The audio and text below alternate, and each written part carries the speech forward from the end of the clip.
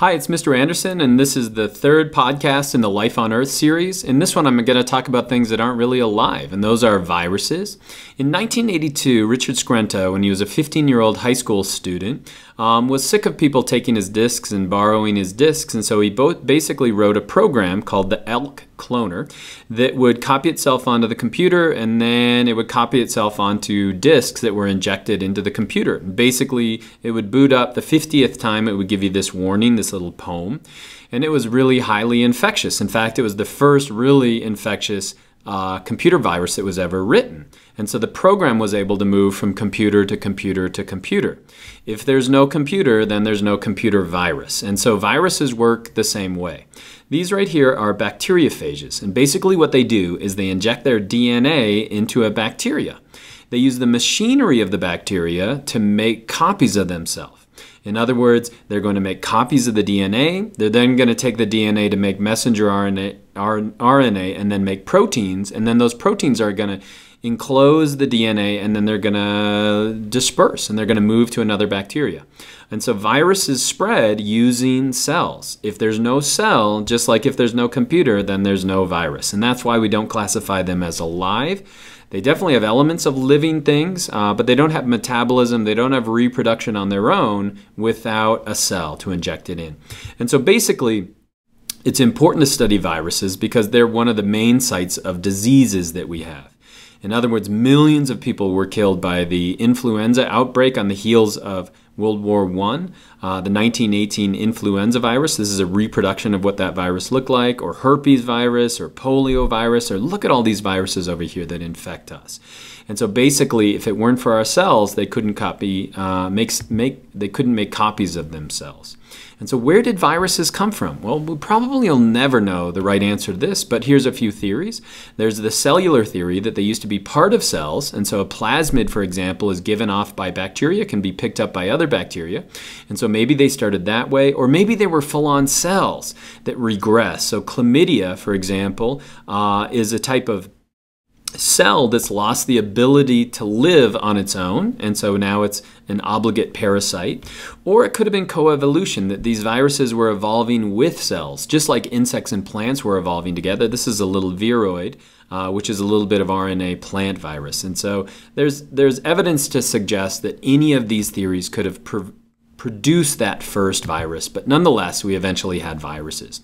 So, what are some characteristics in the structure of a virus? Well, all viruses are going to have nucleic acid, so they have to have some kind of genetic material. Sometimes that is DNA, and sometimes that is RNA. Sometimes that DNA is double stranded and sometimes it's single stranded. And sometimes that RNA is normal, single stranded, and sometimes it's double stranded. And so these are all different types of genetic material that could be found inside a virus, but they're all genetic material. So that's the thing that all viruses have. The other thing that all viruses have is a protein coat. In other words, they have the coat that surrounds that virus. One of the first viruses really understood and crystallized and seen is the tobacco mosaic virus. And you can see here's the two parts of it. It's got RNA in a coiled pattern, and then it's going to have these protein subunits that go around the outside. So they protect that DNA. Now, a lot of the time, that whole protein is simply two different types of protein. We call those protein subunits. And you can see here that just having those two proteins, it can self-assemble into this shape or this characteristic viral shape. And so all viruses are going to have these two things. But a lot of viruses are also going to have an envelope. So they're going to have a lipid bilayer. And so this right here would be human immunodeficiency virus or the virus that causes AIDS. And you can see here that we've got RNA on the inside. We've got a capsid or a protein coat around the outside, but now we've got this lipid bilayer around the outside or this envelope. Now, why is that important? If we say this is a typical cell, let's say this is a typical cell in your upper respiratory tract, and let's say you're being infected by a rhinovirus or a virus that causes a common cold, well, around the outside of your cell is going to be an envelope. And so if we have another virus with a, a genetic material and a capsid, but let's say that they have an envelope around the outside, when it attaches to your cell, those two envelopes, if it looks exactly the same, is going to fuse with that, and it makes it easy for that virus to gain entry. Likewise, when it lyses the cell or when it explodes, if it takes a little bit of that envelope with it, it's much less, it's much more likely to be able to infect another cell. And so a lot of these envelopes are gathered from the cell in which they infected, in which they are leaving. So, how do they reproduce? How does this actually work? Well, the viral life cycle is, is two parts. There's the lytic cycle. Lytic comes from the word lyse or to break. And so let's kind of look right here at a bacteriophage. A bacteriophage, remember, infect bacteria. And so what this one is doing is injecting its genetic material, in this case DNA, into a bacteria. So it injected its DNA into a bacteria. As that cell makes copies of itself, you can see it's making copies of the DNA. Next thing it's doing, so how did it do that? It's using DNA polymerase. So it's using the machinery of the cell to make a copy, raise, uh, to make a copy of the DNA.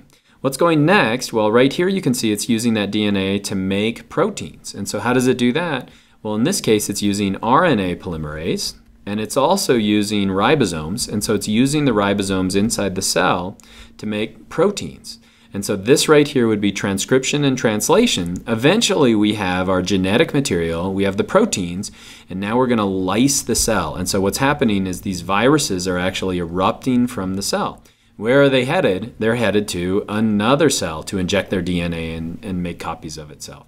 And so that's how you can just get a few viruses and you can get a huge viral outbreak where pretty soon, exponentially, we're going to have billions and billions of viruses being created.